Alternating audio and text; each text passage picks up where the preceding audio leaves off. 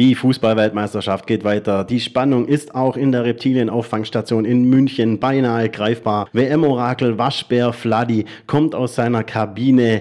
Die Mannschaft gewinnt, in deren Tor er den Ball reinmacht. Deutschland braucht unbedingt den Sieg, um nicht schon in der Vorrunde auszuscheiden. Und er geht auch direkt auf das deutsche Tor zu an dem Pfosten. Das war knapp. Und wieder vor dem deutschen Tor. Doch Fladi macht ihn nicht rein. Jetzt geht er an das schwedische Tor heran. Joachim Löw ist ganz nervös, auch wenn Fladi hier wieder am deutschen Tor ist. Doch der Ball ist wieder nicht drin. Nächster Anlauf. Doch Vladi kann sich nicht entscheiden, ist am schwedischen Tor. Das wird eng, das wird eng, das wird ganz knapp. Und oh, an den Giebel rangezimmert von Waschbär Vladi. Da ist Löw schon schier von seiner Trainerbank gekippt. Es geht weiter an den Pfosten, an den Pfosten. Löw kniet nur noch neben ihm Co-Trainer Schneider. Doch Vladi, es ist Pause. Er geht erstmal in die Kabine. Die Deutschen müssen sich weiter gedulden. Und Waschbär Vladi kommt wieder aus der Kabine. Zweite Halbzeit. Ist das spannend. Er geht direkt zum schwedischen Tor. Er nimmt den Ball. Was macht er nun? Er beißt auf den Ball drauf. Was will er machen? Will er die Spannung noch weiter steigern? Dabei ist sie nicht mehr zu steigern. Er spielt den Nerven. Waschbär Vladivia mit dem Ball rumtänzelt. Was hat er vor? Er geht in Richtung deutsches Tor. Er nähert sich dem Tor Pfosten. Doch der Ball ist drin, der Ball ist drin, der Ball ist im deutschen Tor. Deutschland gewinnt das zweite Gruppenspiel gegen Schweden und hat weiter die Chance auf das WM-Achtelfinale. Waschbär Vladi.